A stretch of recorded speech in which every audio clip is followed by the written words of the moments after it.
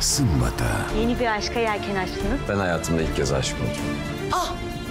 Utandım. Canım. En büyük pişmanlığım çok yanlış bir evlilik yapmak oldu. Pislik. Sana az bile. Sen hala Çağatay'ı seviyor musun? Ne? Sen Çağatay'ı unutamadın mı onu soruyorum.